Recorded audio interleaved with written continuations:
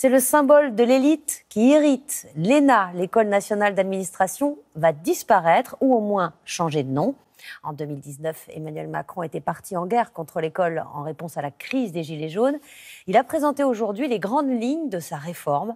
L'ENA devrait devenir l'Institut supérieur de l'administration, une école plus ouverte. Jeff Wittenberg, Nicolas Auer. Il aura donc fallu deux ans pour que cette volonté affichée d'Emmanuel Macron Il faut supprimer, entre autres, l'ENA. devienne une réalité concrète.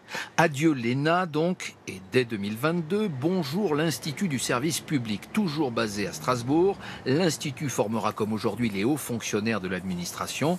Mais les 13 grandes écoles actuelles de l'État y seront également affiliées. Administration pénitentiaire, polytechnique, commissaire de police, directeur d'hôpitaux, pour ne citer qu'elles, partageront une partie de leur enseignement. L'ensemble des fonctionnaires, des hauts fonctionnaires de notre pays auront un tronc commun de formation sur l'écologie, sur le numérique, sur les questions d'inégalité, sur le rapport à la science et sur les valeurs de la République.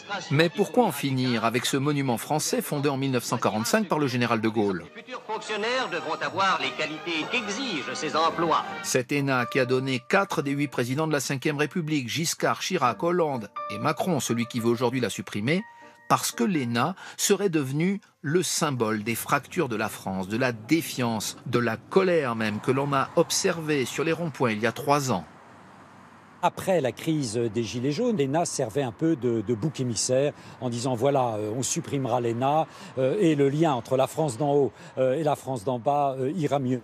La réforme doit aussi en finir avec le fameux classement de sortie qui aujourd'hui destine les meilleurs élèves de l'ENA au grand corps de l'État comme l'inspection des finances. Bref, une petite révolution qui pour l'instant laisse beaucoup d'anciens élèves de l'ENA, ils sont nombreux en politique, dubitatifs.